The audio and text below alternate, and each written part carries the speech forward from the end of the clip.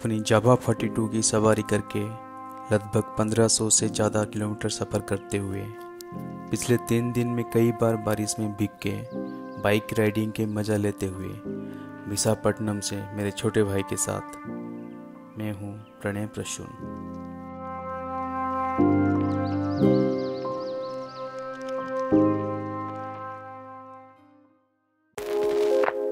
All right people आशा करता हूँ कि आप सभी लोग अच्छे होंगे, स्वस्थ होंगे और तंदुरुस्त होंगे। तो फ्रेंड्स हम दोनों अभी विशाखापट्टनम के वाइजैक बीच के साइड वाले रोड में हैं और इस जगह का नाम है नेचुरल व्यू पॉइंट और वो जो देख रहे हो, वो स्टील प्लांट का एरिया है और पोर्ट का भी एरिया है। तो साउथ के काफ़ी बीचेस ऐसे ही होते हैं कंक्रीट स्क्वायर से भरा हुआ किनारे, ठीक है? तो बस समुंदर की व्यूज़ एंजॉय करो।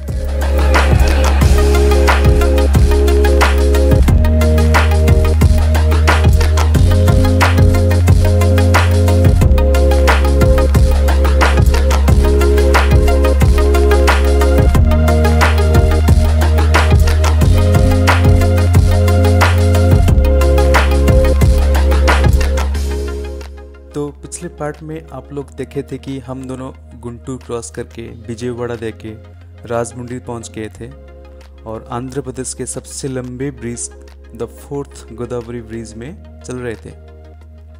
और रात को राजमुंडी में ना रुक के, बारिश में भीग भीग के बहुत मुश्किल से रात को 11 बजे विशाखापट्टनम पहुँच गए थे। और रात को रेलवे स्टेशन के पास वाले लॉज में रुक गए थे रात को। और इस तीन दिन में हम दोनों कई बार बारिश में भीग चुके हैं। ठीक है?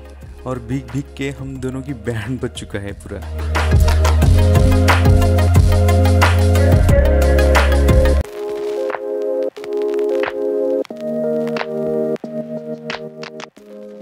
तो सुबह जब अपनी जावा बाइक को देखे तो इसका कुछ ऐसा हालत हो गया था। काफ़ी दंग रह गया मैं इसे देख के इसे। काफ़ी गंदा हो गया है ना? एक्चुअली हम लोग यहाँ ज़्यादा देर रुकेंगे नहीं, क्योंकि ये मौसम बहुत ख़राब है। और अगर और ख़राब हो जाएगा तो हम लोग घर टाइम पहुँच नहीं पाएँगे, ठीक है? तो ये भाईजग बीच के किनारे किनारे चलते चलते घर चले जाएँगे। और रास्ते में आप लोगों को विशाखापट्टनम के कुछ अच्छे अच्छे प्लेसेस दिखाएँगे। तो विशाखापट्टनम अपने बीचेस के लिए काफ़ी फ़ेमस है। यहाँ कई अच्छे अच्छे बीचेस है और बीचेस के साइड साइड बहुत सारे पार्क बनाया गया है। आप लोग आगे जाके वीडियो में देख पाएँगे सब कुछ। सो वीडियो को स्किप मत करिए।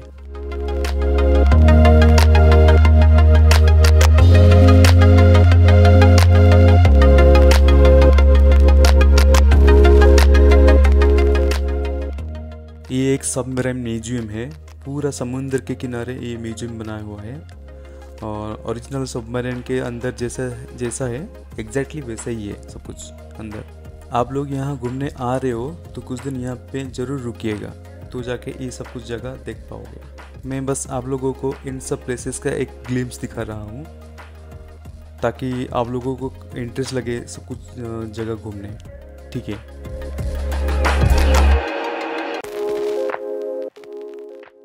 यार सच में विशाखापट्टनम बहुत ही गजब सिटी है। बहुत ही गजब सिटी है। बहुत अमेजिंग प्लेसेस हैं इसके अंदर। अगर समर में आ रहे हो तो ये एक परफेक्ट डेस्टिनेशन होगा। बहुत ही अमेजिंग सिटी है ये।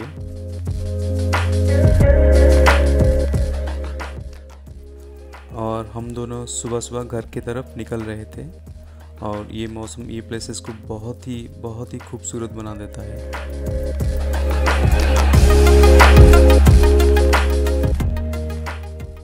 यार, मन नहीं कर रहा है यहाँ से जाने को। सिटी काफ़ी नीट एंड क्लीन है।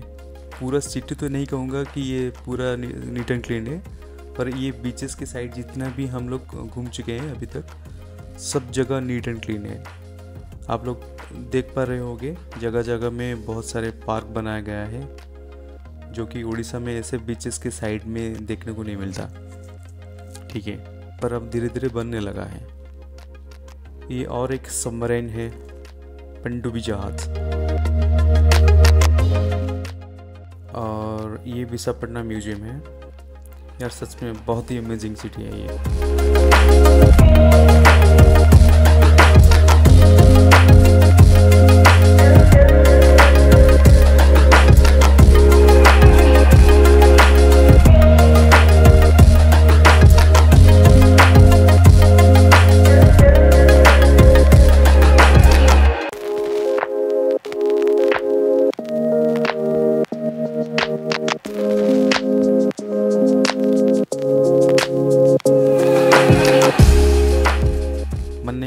यहाँ से जाने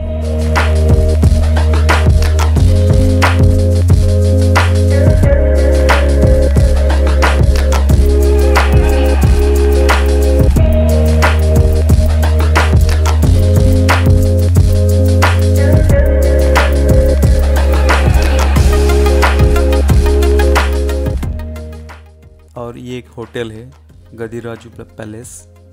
बहुत ही बढ़िया लग रहा है देखने को।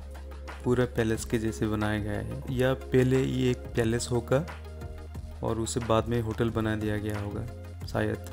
पता नहीं वो।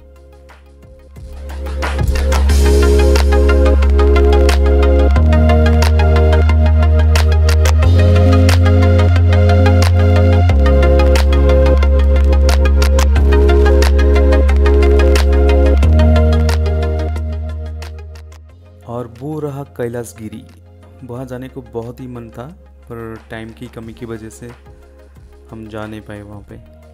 वहाँ से सिटी का व्यू बहुत ही खूबसूरत डेफिनेटली होगा। मन नहीं होगा वहाँ से आने को।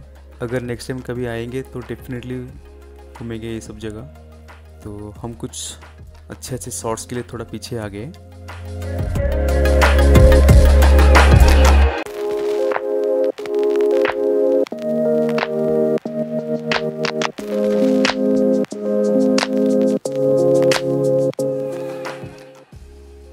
अभी वाइजैक के टेनिडी पार्क के रोड साइड में है। And it's such a beautiful place beautiful actually मौसम भी ऐसे प्लेसेस को और भी अमेजिंग बना देता है। तो गाइज़ आप लोग देख पा रहे हो, वहाँ एक कार्गो शिप या कार्गो वेसल जो भी बोलो ग्राउंडेड हो रखा है।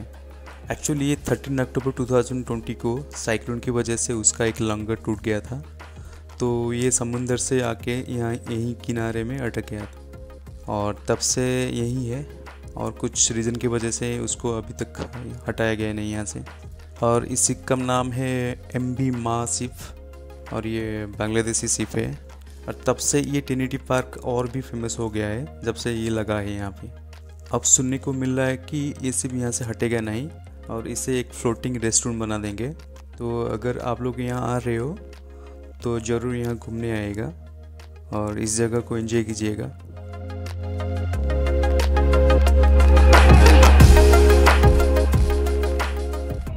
यार, ये सीन उड़ीसा में कमी महसूस होता है। ये समंदर, उसके किनारे पहाड़े, पर्वते, बहुत ही कमी महसूस होता है ये चीज़। ये सब। काश उड़ीसा के समंदर के किनारे किनारे से पर्वते, पहाड़े होते। हैं बहुत ही अमेजिंग बना देता वो सब कुछ चीज़ें, दिखने में, घूमने में। तो गाइस आप लोगों की सपोर्ट रहा तो मैं फिर से विशाखापट्टनम आऊँगा। और जो जो जगह आप लोगों को दिखा नहीं पाया, वो सब दिखाऊँगा।